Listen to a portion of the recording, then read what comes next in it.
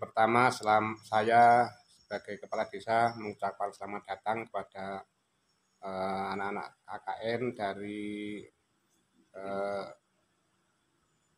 dari Universitas di Ngawi. Maka dengan ini saya terima kasih sekali untuk eh, datang di Desa Ngendol karena Desa Ngendol adalah perlu bimbingan dengan anak-anak remaja, agama maupun kelompok-kelompok warga yang lain dan saya terima kasih sekali atas kehadirannya. Ini ada pendiri dahulu ada makamnya namanya makam Mbah Prono, maka dengan ini kalau hadir di sana orang harus bersih dan suci eh, eh, dalam apa pun tidak boleh sembarangan dengan makam Mbah Prono. Maka dengan ini saya harapkan semuanya eh, warga masyarakat desa ini tetap menghormati perjuangannya almarhum Mbah Prono dan tokoh-tokoh masyarakat yang dulu. Semoga kita tinggal berdoa saja, semoga lancar semuanya. Dan itu e, namanya makam keramat, makam tidak boleh sembarangan apa yang di, dilakukan oleh orang-orang sekarang.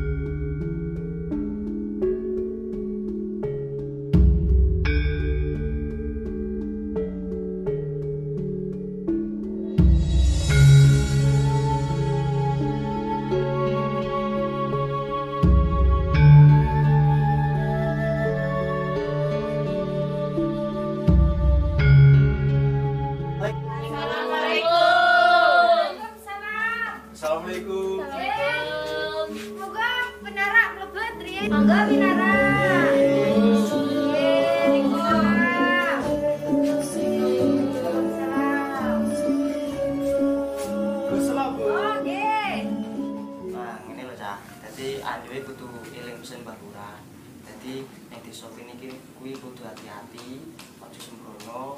Pandiri kuwi tamu, ya to.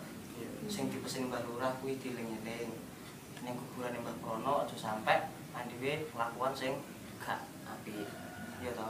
Mbak Prono Siap. sapa to? Mbah Prono kuwi ya sing diarani Mbah Lurah iku kuburan keramat iku. Lurah pertama. Namanya apa, Toh? Mbak Prono. Namanya apa? Nah, jadi yo Andi kudu hati-hati nek rono. Semisal nek apa narani nek arep rono aja rono. Gak usah rono. Iki gak usah hati rono ae. Gak ngono. Berarti kayak itu. Gak ento serasa rono. Ngono ya. Ini wong sing gawe klambi manten terus gawe konde ning burine ngono kae to. Terus wong iki anu dandanane menor.